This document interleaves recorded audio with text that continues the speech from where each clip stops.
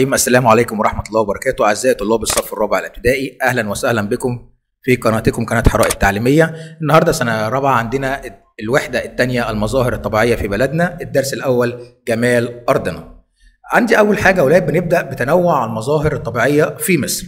وعندي كده معلومة عايز أقولها لكم ممكن نسمعها مع بعض. بنشوف كده مع بعض يا سنة رابعة إن مصر دي بلد تتنوع فيها المظاهر الطبيعية. وطبعا كلنا لو رحنا رحلة جوية وشفنا كده من ركبنا الطيارة وبصينا كده على أراضي مصر من فوق الطيارة هنلاحظ إن مصر فيها العديد من المظاهر الطبيعية الخلابة. وطبعا لو إحنا انطلقنا من مدينة أسوان جنوبا نحو القاهرة شمالا هنلاحظ مجموعة من المظاهر الطبيعية. هنتعرف مع بعض دلوقتي.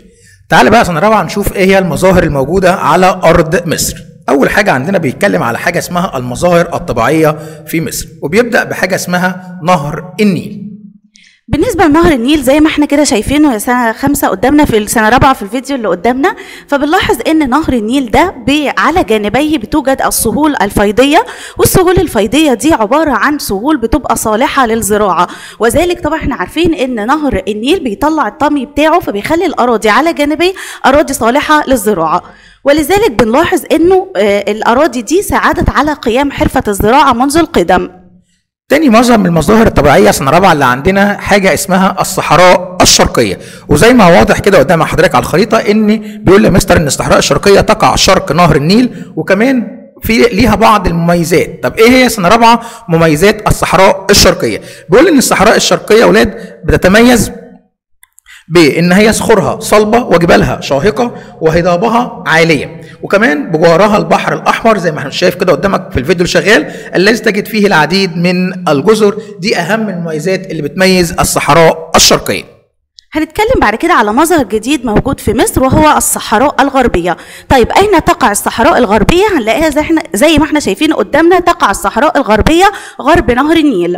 تعالوا نتعرف مع بعض على أهم المميزات اللي موجودة في الصحراء الغربية فنجد إنها تتميز برمالها الصفراء والهضاب والمنخفضات.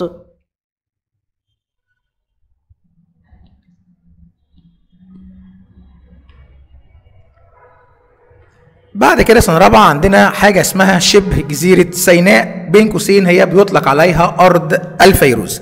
بيقول لمستر إن شبه جزيرة سيناء تقع بين خليجي السويس والعقبة ويطلق عليها زي ما قلت لك من شوية أرض الفيروز. بعد كده سنة رابعة هنتكلم عن حاجة اسمها خريطة التضاريس. خريطة التضاريس دي ليها فايدة كبيرة جدا إن هي من خلالها بنقدر نحدد آه، مستويات ارتفاع سطح إيه سطح مصر. يعني بنلاحظ إن الخريطة اللي عندي دي ملونة الألوان دي كل لون بيدل على شيء. فمثلا عندي اللون الأخضر لو بصيت عندك فده بيدل على الأراضي المنخفضة في البلاد. طب تفتكر إيه هي الأراضي المنخفضة؟ عندي نوعين اللي هما عندي سنة رابعة أمثلة على المنخفضات. عندي حاجة اسمها السهول والمنخفضات وهنعرف بالتفصيل هي عبارة عن إيه. وأيضا بنلاقي لون آخر موجود في الخريطة وهو اللون البني وده بيدل على الأراضي الأكثر ارتفاعا. واللي هندرسها دلوقتي مع بعض زي عندي الهضاب والجبال دي من ضمن ال- الأشياء أو التضاريس اللي بتتلون باللون البني على الخريطة وهنعرف كل واحدة منها بالتفصيل في فيما تبقى من الدرس. عندي سؤال سنة رابعة بيقول لي اكتب تفسيرا واحدا زي المثل لسه قايلاه من شوية أهمية خريطة مستويات ارتفاعات سطح مصر. الموضوع دوت بستفاد منه في إيه؟ زي ما المثل قالت من شوية بيقول لي توضيح مستويات ارتفاعات سطح مصر فلكل شكل من أشكال سطح الأرض ارتفاع معين زي كده ما المثل قالت لك إن اللون البني ده بيدل على المرتفعات أو الجبال وكمان اللون الأخضر بيدل على الأراضي المنخفضة مثل السهول والمنخفضات. تعال بقى نشوف سؤال بيقول لي اكتب كلمة صواب أو خطأ. المناطق الملونة بالأخضر الداكن أكثر ارتفاعا من الم- المناطق الملونة بالأخضر الفاتح. طبعا الإجابة دي إجابة إيه؟ خاطئة. السؤال الثاني يلون السهل الساحلي على الخريطة باللون الأخضر. إحنا لسه متفقين إن اللون الأخضر ده بيدل على الإيه؟ على السهول. يبقى العبارة إيه؟ صحيحة. السؤال بيقول لي كمان بيقول لي بما تفسر بيقول لي تلون منطقة جنوب سيناء على خريطة مصر باللون البني. ليه منطقة جنوب سيناء اللي قلت لك عليها بتلون على الخريطة؟ لما يجي أبص عليها على الخريطة ألاقيها باللون البني. طبعا اللون البني بيدل على المرتفعات يبقى أكيد في مرتفعات. هقول له لوجود الجبال مثل جبل سانت كاترين.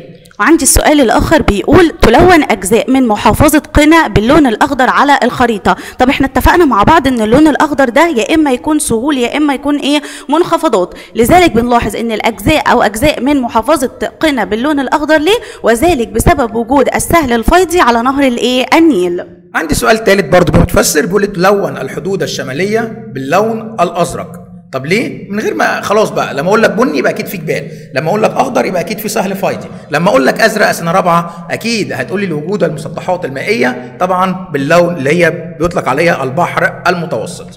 سؤال آخر تلون منطقة جنوب غرب مصر باللون البني على خريطة سطح مصر واتفقنا إن اللون البني ده خاص بالمرتفعات قد تكون المرتفعات هضاب أو جبال ولكن في غرب مصر عندي هضاب زي هضبة الجولف الإيه الكبير تعالى مع بعض بقى سنة رابعة نشوف إيه هي مظاهر السطح الموجودة وهنبدأ أول حاجة بالأراضي المرتفعة. من أهم الأمثلة اللي موجودة عندي على الأراضي المرتفعة رقم واحد هي الجبال. طب تعالى مع بعض سنة رابعة نشوف إيه هو تعريف الجبال وايه هي الأمثلة اللي عليها. بيقول لي سنة رابعة الجبل عبارة عن أرض شديدة الارتفاع ولها قمة وجوانبها شديدة الانحدار زي ما قدامك كده في الصورة. وكمان بيقول لي الأمثلة من أهم الأمثلة الجبال الموجودة في مصر هو جبل سانت كاترين. لازم أعرف المفهوم كويس جدا عشان بيجي بيقول لي ما المقصود. يبقى ما المقصود بالجبال أرض شديدة الارتفاع وجوانبها شديدة الانحدار. أهم الأمثلة الموجودة على الجبال في مصر هو جبل اسمه جبل سانت كاترين. من ضمن برضو الأراضي المرتفعة يا سنة رابعة عندي التل. إيه هي التل أو التلال؟ قال لك هي أراضي مرتفعة قليلا ولها قمة. خلي بالك هي أراضي مرتفعة زي الجبال بس لازم تميز إن هي بيقل ارتفاعها عن ألف إيه؟ ألف متر. ومن أمثلة التلال اللي موجودة عندك زي التلال المقطم ودي موجودة في محافظة القاهرة.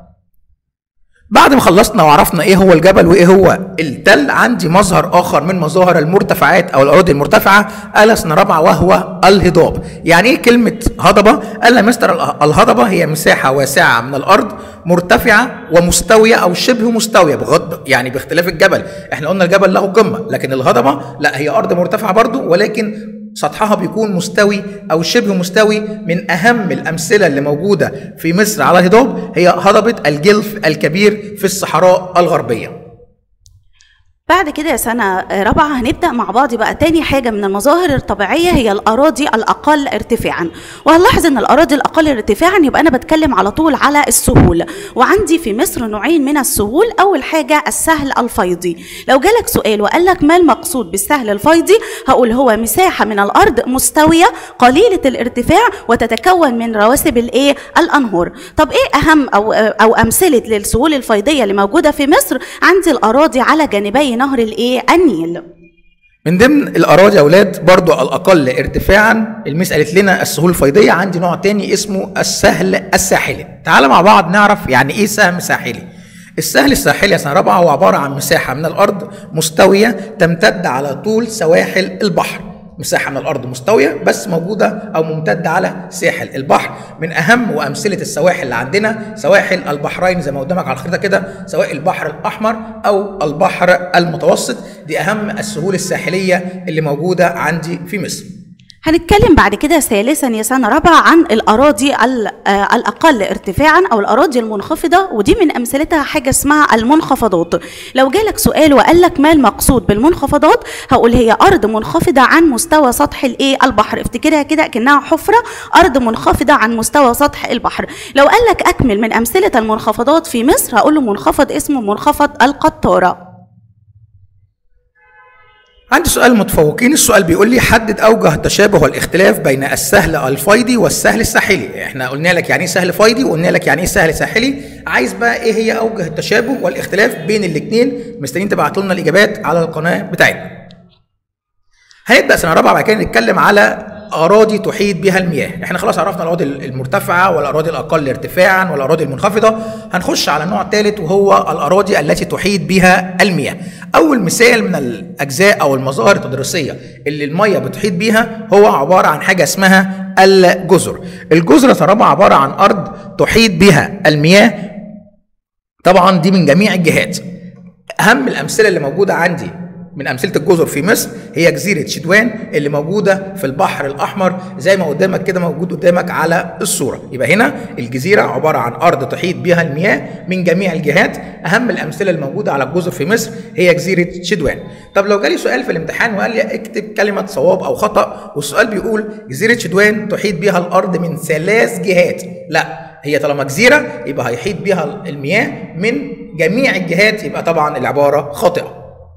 أيضا من ضمن المظاهر الموجودة عندي عندي حاجة اسمها شبه الجزيرة أو أشباه الجزر ودي عبارة عن إيه؟ قال لك دي مساحة من اليابس وتحيط بها المياه من ثلاث إيه؟ جهات. يبقى الفرق ما بين الجزيرة وشبه الجزيرة الجزيرة الميه بتحيط بها من جميع الجهات أما شبه الجزيرة الميه بتحيط بها من ثلاث إيه؟ ثلاث جهات. يحيط بها اليابس من ثلاث إيه؟ جهات. وقلنا من أمثلتها شبه جزيرة سيناء. بعد سنة رابعة ما خلصنا بقى الأراضي المرتفعة وال- والأقل ارتفاعا والمنخفضة وحتى الأراضي التي تحيط بها الماء سواء كانت الجزر أو أشباه الجزر. تعال مع بعض نشوف مظاهر تدريسية أخرى موجودة في مصر وهي المسطحات المائية. وطبعا لو بنتكلم عن المسطحات المائية يبقى أول الأمثلة اللي بتدل على المسطحات المائية في مصر هي البحر. البحر سنة رابعة عبارة عن مساحة من المياه المالحه أقل من المحيط. المحيط برضو ميه مالحه بس أكبر شوية من البحر. طيب إيه أمثلة البحار اللي موجوده في مصر؟ أكيد أنت عارفها. طبعا صح كده برافو عليك اللي هي البحر الأحمر والبحر المتوسط. هناخد تاني حاجة من المس- المسطحات المائية اللي موجودة في مصر عندي نهر النيل واتكلمنا عليه قلنا نهر النيل ده عبارة عن مجرى مائي عذب. خلي بالك إن المية بتاعته مية إيه؟ عذبة طبعا صالحة للشرب مثل إيه؟ نهر النيل. من ضمن المسطحات المائية الموجودة في مصر برضه سنة رابعة هي حاجة اسمها البحيرة. البحيرة سنة رابعة عبارة عن مساحة صغيرة من المياه يحيط بها اليابس من جميع الجهات. قد تكون عذبة مثل بحيرة ناصر أو مالحة مثل بحيرة البرولوس. يبقى البحيرة عبارة عن مساحة من المياه مساحة صغيرة من المياه بيحيط بها اليابس من جميع الجهات.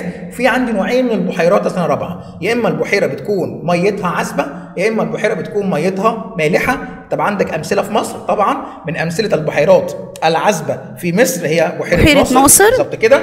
وعندي أمثلة آه، مياه مالحة زي بحيرة البرولوس.